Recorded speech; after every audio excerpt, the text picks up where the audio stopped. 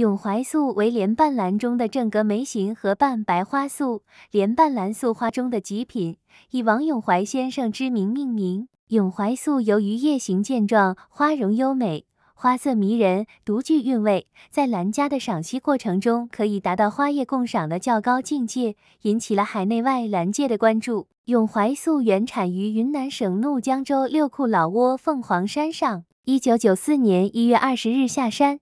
由大理州养兰名家王永怀先生选育栽培，经多年驯化，性状稳定。该品种叶形优美，叶片厚为一般莲瓣兰叶片的二至三倍厚，叶边缘刺口深，很远就能辨识。鳞茎上一厘米处，叶柄就分开。初春开花，每见花开二至三朵，属大花梅型和瓣素花，外三瓣厚质，白糯，头圆，内棒为观音棒，大如一舌，素净。整朵花的造型劲力十足，雍容华贵，冰清素雅，惹人喜爱，为素花之上品。其花香宜人，沁人心脾。远观此花，花叶互为映衬，一派王者风范，在万花丛中如一件活艺术品。王先生说，这花的发现纯粹是一个善心的回报。此花是一九九四年，他到六库出差时候，在旅社门口遇到一位山上的老农，摆着一盆莲瓣素，有三苗开着花，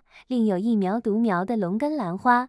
老人因王老师和他买过花，就叫他名字，请他看看，说自己已经摆了一天了，没卖出去，还要等钱买些日用品回家，请王先生帮他买去。王先生看到三苗莲瓣素是用一个破了的铁瓷大碗种着，是一个普通的莲瓣素，已经焦尖严重。旁边有一个龙根小苗，看起来也像是莲瓣素。问老农价格，老农说十块钱一苗。王老师觉得兰花品相不好，直布了这个价，但老农也不容易，便以四十块钱买下了这几苗兰花。老农家是离老挝乡十三公里处的一个小山村里的。王先生在开花之后，再次去找当时的老农，希望能在当地寻找到永怀素的兄弟姐妹。因为兰花的种子一个国里有几万个，但可惜的是没有发现有其他人挖到并种植。然后王先生请老农带路去了发现永怀素的那块地方，可惜已经成为了飞机场，形容山林被采伐毁坏，光秃秃一片。之后，王先生和其他兰花一样细心照料这几棵兰花，于一九九九年第一次开花，开花即一鸣惊人。后来继续都有开花，但开品没有第一次开的好，也就没拿出来亮相。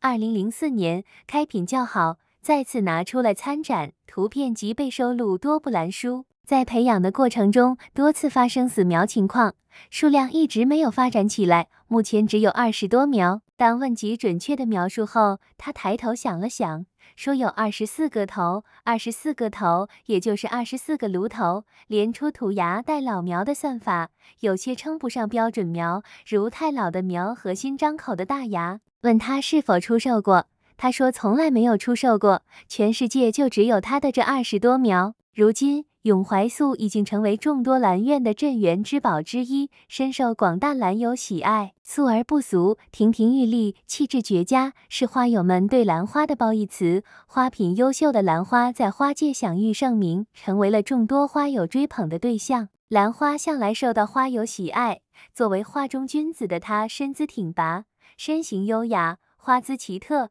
其也总因自身特点而大放异彩。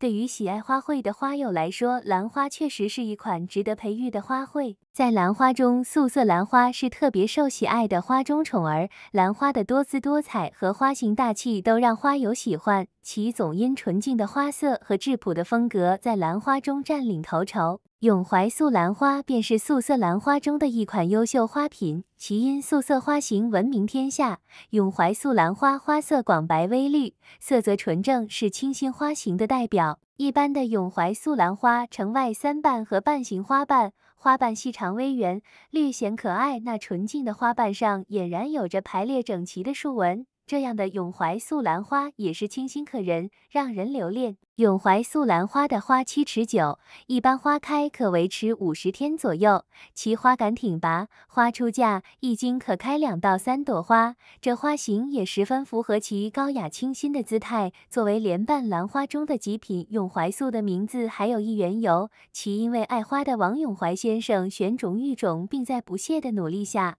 完成了永怀素的完整培育，让永怀素兰花在各大兰展中逐渐闯出名号。后来就就以王永怀先生之名替此花命名。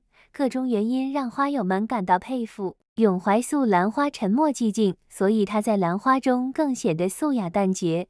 植株挺拔，正直挺立的永怀素的枝叶纤细，修长斜立，叶面细窄，叶色深绿，其身姿也显得俊秀不凡，身形飘逸。叶色的翠绿更是衬托的永怀素兰花的纯净美好，花与叶的相互呼应，更是展现了永怀素兰花的搭配得当。永怀素兰花的身形让人津津乐道，但说起它的香味，也就让人自顾不暇了。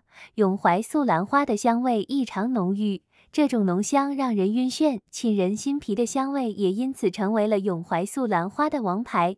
这花香与花名不符的永怀素，也因此让人难以舍弃。此花叶质厚实，叶筋脉明亮，垂叶，叶宽零点四到一点一厘米，叶芽出土白糯，无任何杂色，叶片五到七片，叶长三十到五十厘米，油绿色。花杆出价，一庭花开二到三朵，在一到二月份开花。气味清香，花瓣为合瓣形，质糯厚，捧瓣略开天窗，舌短宽圆，主副瓣尖起兜，瓣子中间有绿金引线，正朵花色泽广白微绿，花端方阴正，冰清玉洁，有大家闺秀气质。它不仅锁色、清韵、清神，更能清新，是莲瓣兰锁心系列中的名品，社会存量少。谢谢大家观赏。视频中如有错误，请在评论区纠正。若喜欢我的兰花小讲堂，请多多支持，点点赞，关注我并分享和转发，谢谢。